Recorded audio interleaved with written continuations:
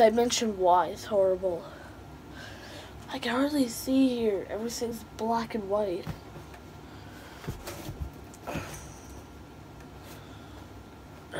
My book says literally nothing at all. I don't know what I could find. Um, is there anything anywhere in this book?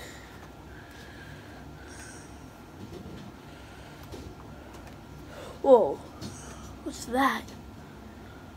Dimension Y. Stare at symbol to return home. It's so easy. Okay. Not on my watch. Victory is mine.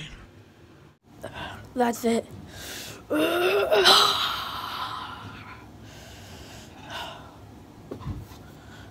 now, time to return home.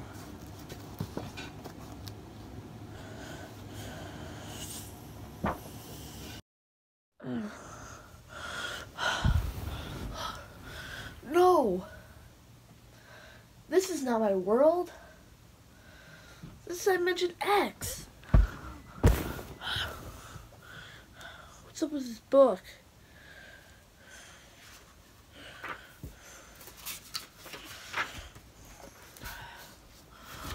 Huh. At least the pages are restored.